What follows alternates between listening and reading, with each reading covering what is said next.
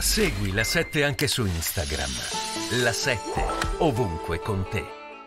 Tocci perché tra l'altro per la stampa di cui è editorialista ha scritto perché ci serve il gendarme USA. Eh, il gendarme avrà, insomma, come dire, si rafforza anche, ha parlato di eh, questo aumento di, di, di, forze e di impegno in Italia.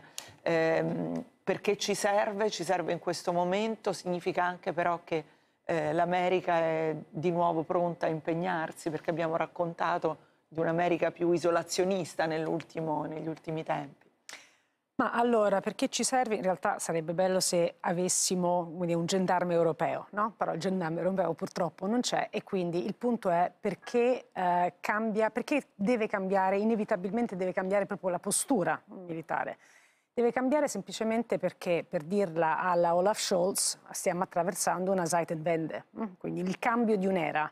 Non viviamo più in un'era post-guerra fredda in cui ci si poteva, tra virgolette, permettere di fare solo deterrenza mm?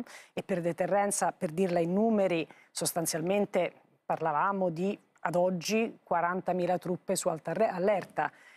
Passiamo a una nuova era, purtroppo non l'abbiamo scelta noi, che è un'era non più appunto di post-guerra fredda, ma è un'era di guerra. È un'era di guerra, ci si deve preparare alla difesa. Chiaramente con l'augurio che poi non debba essere utilizzata, ma sarebbe ovviamente estremamente irresponsabile in uno scenario del genere non essere pronti per un'eventuale invasione in territorio NATO e quindi la difesa non si fa con 40.000 truppe in alta allerta. Se ricordiamo un po' i numeri prima dell'inizio dell'invasione russa, la Russia aveva mobilitato oltre 200.000 truppe al confine con l'Ucraina e quindi sostanzialmente è un adattamento inevitabile della Nato a questo scenario e quindi appunto si parla di queste 300.000 truppe. Perché gli americani? Allora, mi viene da dire meno male che ci stanno loro in questo momento, perché immaginiamoci una situazione del genere in cui gli americani, se, se, gli americani non fossero disposti a spendersi, diciamo, in questo modo, saremmo in pericolo. Lo dobbiamo dire chiaramente. Eh, perché gli americani si, Quando si impegnano... Draghi dice bisogna essere pronti cioè non è, non è un'escalation, dobbiamo essere pronti, è questo che Certo, che cioè dire. bisogna, nel senso, chi può escludere oggi che, ci, che, che possa esserci diciamo, un, un, uh, uno spillover di questa guerra in territorio nato e che quindi ci sia appunto, la, cioè che se esiste la possibilità e il rischio uh, di un evento non causato dalla Nato, ma causato ovviamente dalla Russia, che faccia scattare no, l'articolo 5, quindi l'articolo sulla difesa collettiva, inevitabilmente ci deve essere diciamo, una Nato che è pronta.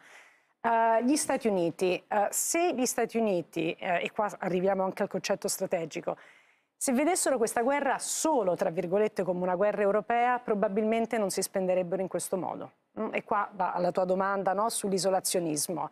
Eh, il motivo per cui gli Stati Uniti si stanno impegnando in questo modo è perché vedono questa guerra comunque collegata con il più ampio antagonismo, e lì sì che invece si spendono, con la Cina ovviamente. No? Quindi è questo diciamo, l'assetto globale.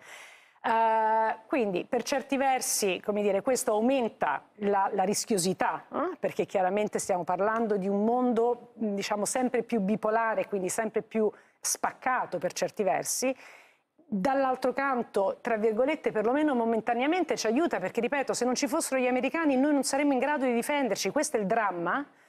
Uh, questo non può che, io mi auguro, svegliarci e farci rendere conto che benissimo, adesso ci sono gli Stati Uniti, ma tra due anni... Mm?